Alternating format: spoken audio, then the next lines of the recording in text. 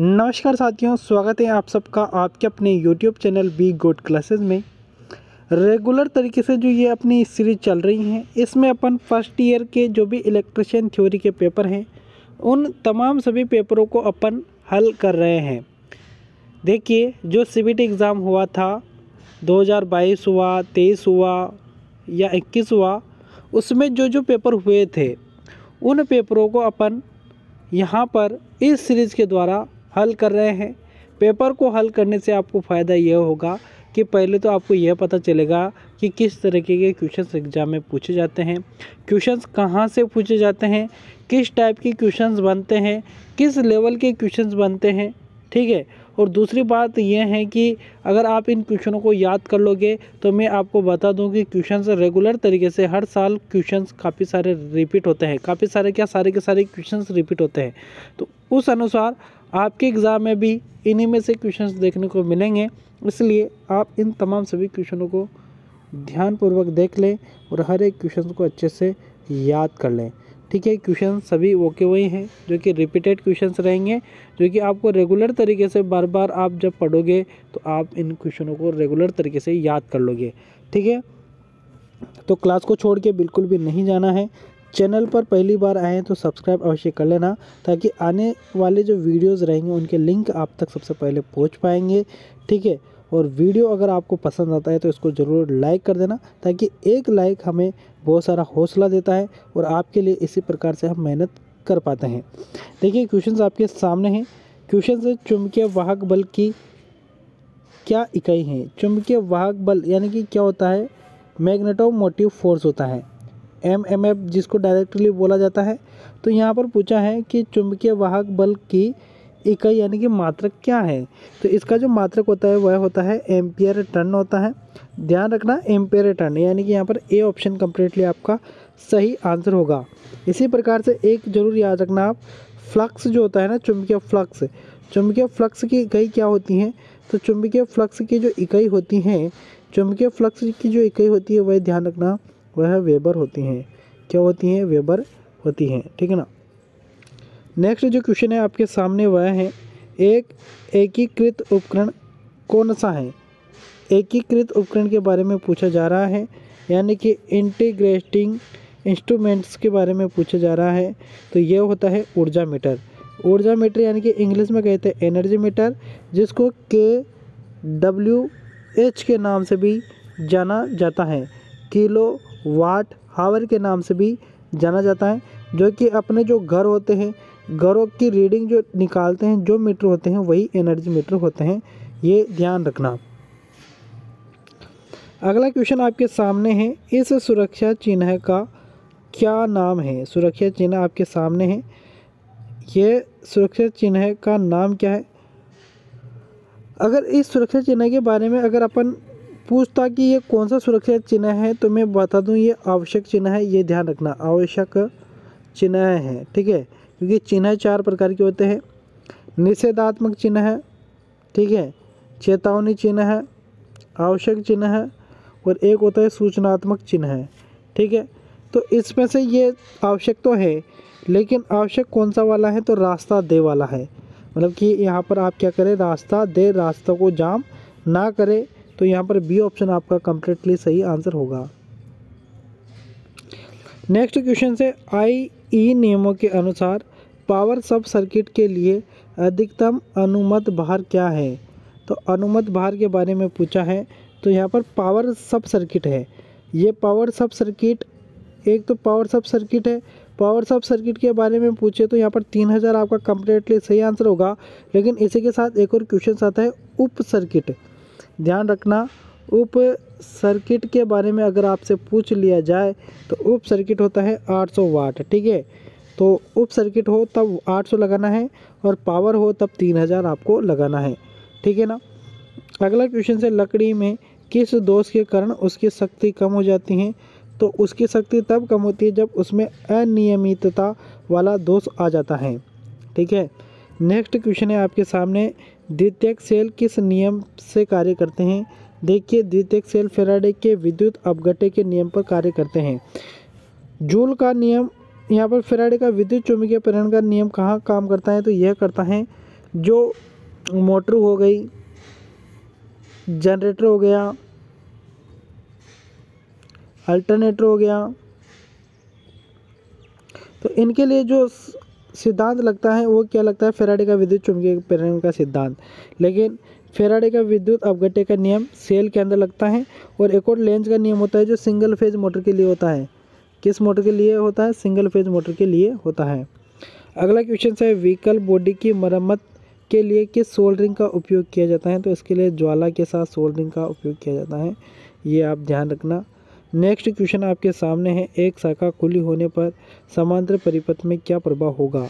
अगर समांतर परिपथ है, उसमें से एक शाखा खुली हुई है तो वही शाखा नहीं चलेगी जो खुली है, ठीक है?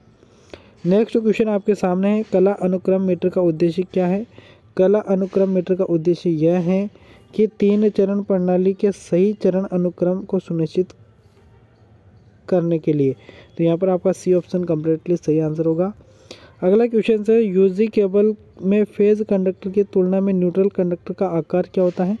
तो यहाँ पर देखिए, इससे काफ़ी सारे क्वेश्चंस बनते हैं यूजी केबल से, यानी कि यूजी केबल का मतलब होता है अंडरग्राउंडेड केबल तो अंडरग्राउंडेड केबल का जो है ना फ़ेज़ तार, जो न्यूट्रल तार होता है फ़ेज़ तार के मुकाबले आधा बनाया जाता है। जितनी मोटाई फ़ेज़ तार की होती है, उससे आधी न्यूट्रल तार की होती है। ध्यान रखना, जो यहाँ पर यूजिक केबल है यूजिक ग्राउंडेड केबल है, ये साढ़े तीन कोर की केबल होती हैं। ये भी आप ध्यान रखना। और साढ़े तीन कोर की केबल इसको क्यों कहते हैं? तो तीन तो इसमें फ़ेज़ के लिए तार होते हैं, एक न्यूट्रल के लिए होता है। तो इसको साढ़े तीन क्यों कहते हैं? तो देखिए, तीन फ़ेज़ वाले तो मोटे तार होते हैं, एक जैसे, और एक जो ये होता है ना, न्यूट्रल वाला, ये पतला होता है। मतलब ये इस तरीके से तीन तो मोटे होते हैं, और एक पतला होता है। ठीक है तो ये इसलिए इसको साढ़े तीन कोर की केबल कहते हैं। अगला क्वेश्चन है, चल कुंडली उपकरण में डैम्पिंग बल क्यों आवश्यक है? तो डैम्पिंग बल की आवश्यकता इसलिए है कि दोलनों के बिना सुई को नियंत्रित करता है। ठीक है, दोलन के बिना क्या करता है? सुई को नियंत्रित करता है, ये ध्यान रखना। अगला क्वेश्चन है, उच्च वोल्टेज प्रतिष्ठानों को मापने के लिए किस ट्रांसफार्मर का उपयोग किया जाता है? तो विभव ट्रांसफार्मर का उपयोग किया जाता है। यहाँ पर ए ऑप्शन कम्प्लीटली आपका सही आंसर हो जाएगा। नेक्स्ट क्वेश्चन से श्रेणी परिपथ का क्या उपयोग है? श्रेणी परिपथ का जो उपयोग है, परिपथ में फ्यूज़ ठीक है परिपथ में फ्यूज यहाँ पर कम्प्लीटली सही आंसर है। देखिए, श्रेणी परिपथ का उपयोग कहाँ किया जाता है? तो फ्यूज के अंदर किया जाता है, क्योंकि फ्यूज को है ना श्रेणी क्रम में लगाया जाता है, इसलिए यहाँ पर जो फ्यूज है ना, उनका उपयोग श्रेणी क्रम में करते हैं। ओल्ट मीटर संयोजन तो ओल्ट मीटर को हमेशा समांतर क्रम में लगाते हैं, ये ध्यान रखना। और अगर पूछ ले कि मीटर किसमें लगाता है तो मीटर श्रेणी में लगता है। मीटर में संट प्रतिरोध की अगर बात करें तो मीटर तो श्रेणी क्रम में लगता है, लेकिन मीटर के अंदर जो परिपथ लगता है, प्रतिरोध जो लगता है, वह समांतर में लगता है, ठीक है? घरों में विद्युत लैंप यानी कि घर की जितनी भी लाइट्स हैं, वो सभी समांतर में लगती हैं। अगला क्वेश्चन से L series M C B द्वारा कौन सा बार सुरक्षित है? देखिए, क्या होता है कि ये क्वेश्चंस आपके बहुत सारे ऊपर से भी निकलते हैं। क्यों निकलते हैं? क्योंकि आपने पढ़ाई नहीं कर रखी है। अगर आपने थ्योरी को ढंग से नहीं पढ़ रखा है ना तो ये क्वेश्चंस आपको कंफ्यूज कर देते हैं। तो आपको पहले है ना किताबें भी पढ़नी चाहिए साथ ही साथ। किताबों को पढ़िए, मज़बूत कीजिए उनको, थ्योरी मज़बूत कीजिए, क्वेश्चन पढ़िए, तब जाके आपको ये क्वेश्चन अच्छे से समझ में आएँगे।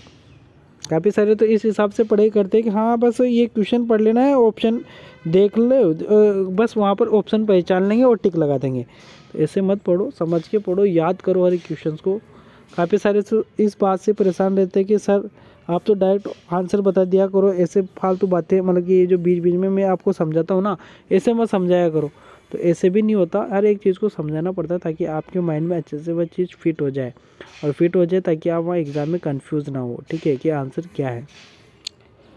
एल सीरीज़ एमसीबी द्वारा कौन सा बार सुरक्षित है? तो देखिए, सबसे पहली बात तो है कि एमसीबी का पूरा नाम क्या है? तो एमसीबी का पूरा नाम पूछे तो मिनीएचर सर्किट ब्रेकर होता है, ये ध्यान रखना। और यहाँ पर एल सीरीज़ में पूछा है तो एल सीरीज़ में एमसीबी का भार कौन सा है? तो गीजर है। एल में कौन सा है? तो एल में कौन आ रहा है? तो गीजर आ रहा है। अगला क्वेश्चन है कि सामग्री प्रतीक का नाम क्या है? सामग्री प्रतीक के बारे में पूछा जा रहा है तो बहु स्थिति एकल ध्रुव स्विच है। ये ध्यान रखना, यहाँ पर आपका सी ऑप्शन कम्प्लीटली सही आंसर है। नेक्स्ट जो क्वेश्चन है, वह है फेराडे इलेक्ट्रोलाइसिस का प्रथम नियम का सूत्र क्या है? तो वह है एम बराबर जेड आई टी होता है। एम यानी मास होता है, यानी कि द्रव्यमान। जेड यानी कि रासायनिक तुल्यांक होता है। आई यानी कि धारा और टी यानी कि टाइम होता है। ठीक है ना?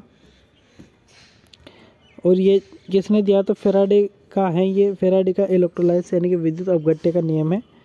अगला क्वेश्चन से कौन सा उपकरण बैटरी में वोल्टेज की चार्जिंग स्थिति की जाँच करता है? तो वह है उच्च दर निरावेशन टेस्टर ठीक है? High ray high rate discharge tester है। हाई रेट डिस्चार्ज टेस्टर इसका भी फुल फॉर्म आप याद रखना एच आर डी टी अगला क्वेश्चन है, चमकदार प्रवाह की इकाई क्या है? चमकदार प्रवाह की जो इकाई होती है, वह ल्यूमेन होती है। ये ध्यान रखना। अगला क्वेश्चन आपके सामने है, जो कि है, इस औज़ार का क्या नाम है? ये औज़ार आपके सामने है, इस औज़ार का नाम पूछा है तो ये जेनी कैलिपर है। ठीक है, क्या है ये जेनी कैलिपर? अगला क्वेश्चन आपके सामने है, जो कि है, सर्किट में किस प्रकार का स्विच उपयोग किया जाता है? तो सर्किट में किस प्रकार का स्विच उपयोग किया जाता है तो इंटरमीडिएट स्विच उपयोग किया जाता है यहाँ पर।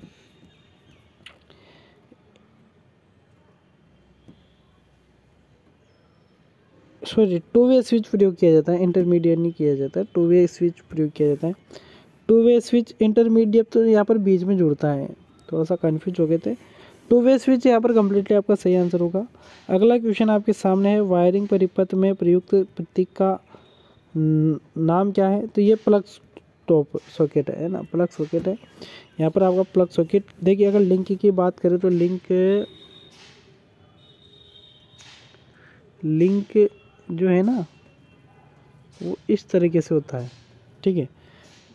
फ्यूज जो होता है, वो इस तरीके से होता है, ठीक है? ध्यान रखना। अगला क्वेश्चन से विद्युत केतली में सोल प्लेट का उद्देश्य क्या है?